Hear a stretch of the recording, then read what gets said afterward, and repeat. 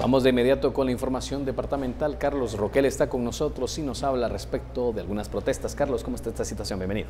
Gracias, William. Buenas tardes. Efectivamente, empezamos con estas noticias, protestas que se registraron allá en el departamento de Suchitepeque. Y es que representantes de COCODES de las colonias de Mazatenango así como organizaciones indígenas y sociedad civil salieron este día a las calles a manifestar solicitando la nacionalización de la energía eléctrica.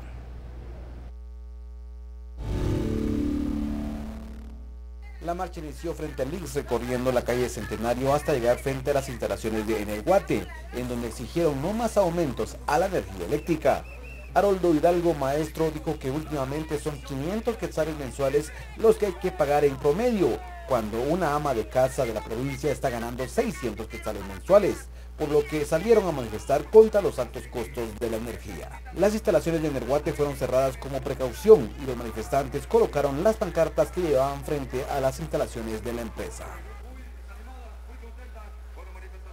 Noticias lamentables, el menor José Daniel Díaz, sum de 10 años de edad, que iba caminando para su escuela, perdió la vida en la primera calle I-23 avenida de la zona 1 de Quetzaltenango. Un vehículo de transporte pesado lo atropelló y se dio la fuga. Vecinos, familiares y maestros lamentaron el hecho.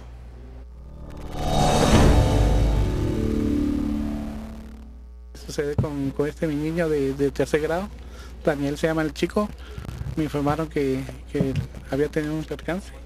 Llegaron al establecimiento para ver si era el niño, se pudo identificar por el pants que usa.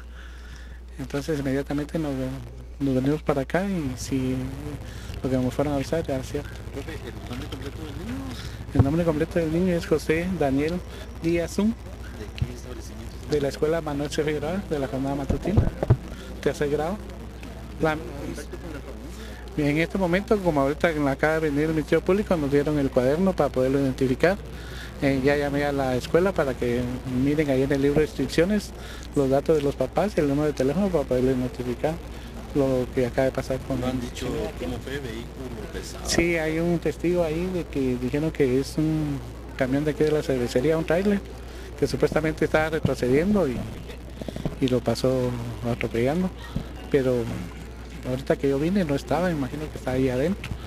Eh, yo quiero ver que notificar aquí a la empresa esta de que deben tener un registro de, entrada y salida de camiones, ¿verdad? El muelle de Santa Catarina Sololá podría quedar sin uso por el nivel del agua, ya que ha bajado bastantemente el lago, tomando en cuenta que este municipio es visitado por los turistas.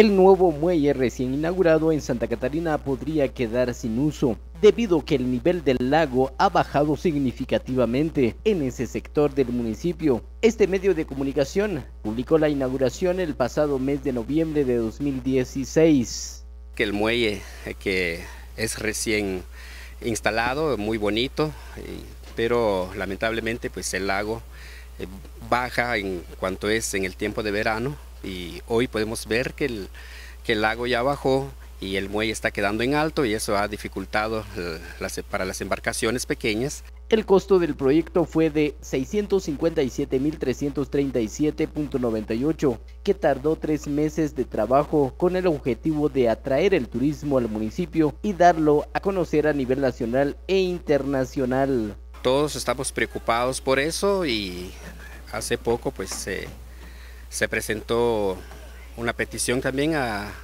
las autoridades para que tomen carta en el asunto, pero hasta aquí no se ha visto eso, entonces sí lamentamos eso también. Se trató de hablar con representantes de la comuna local, pero fue imposible debido a las labores. Por una Guatemala en paz desde el departamento de Sololá, Ángel Culajuj, Noticiero Guatevisión.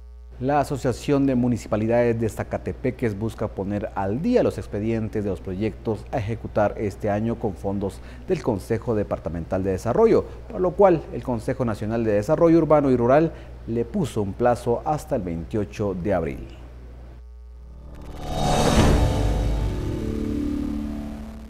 Los expedientes de los proyectos municipales con fondos del CODEDE deberán estar completos antes del 28 de abril para cambiar de estado y contar con luz verde para su ejecución en el tiempo estipulado. El CONADUR aprobó que el 28 de abril es el último día y que no habrá eh, prórroga a ese plazo para que eh, los eh, proyectos que todavía están en estado pendiente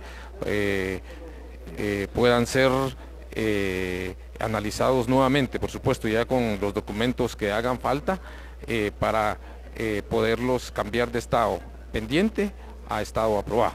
Pero los alcaldes insisten que la burocracia de las instituciones del Estado retrasan la entrega de las licencias o avales, aunque admiten que también se debe a la negligencia de las direcciones de planificación municipal. Lo primero que tenemos que hacer es tener un inventario de los expedientes, cómo va el procedimiento para poder decir realmente quién no está cumpliendo, porque yo soy de la idea de que si los alcaldes, las DMPs cumplen y lo único que falta es el aval, pues hay que presionar a, a la institución. Las municipalidades estiman ejecutar unos 38 proyectos con fondos del CODEDE por un monto de más de 66 millones de quetzales. Por una Guatemala en paz, Julio Sicán.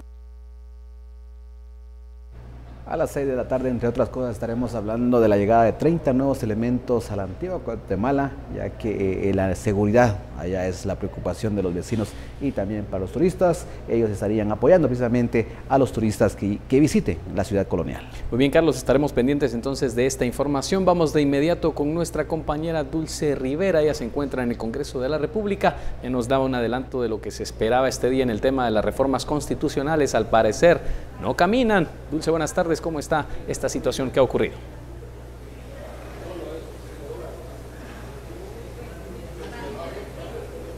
Gracias, Julia. Muy buenas tardes. Y efectivamente, estamos en el Congreso de la República, en donde hoy los diputados tenían agendada la discusión de las reformas constitucionales. Sin embargo, no avanzaron prácticamente en nada debido a la falta de acuerdos y también a la discusión que se generó dentro del Congreso. Por más de una hora, los congresistas eh, discutieron si se aceptaban nuevas enmiendas al artículo 3 que se refiere a la jurisdicción indígena.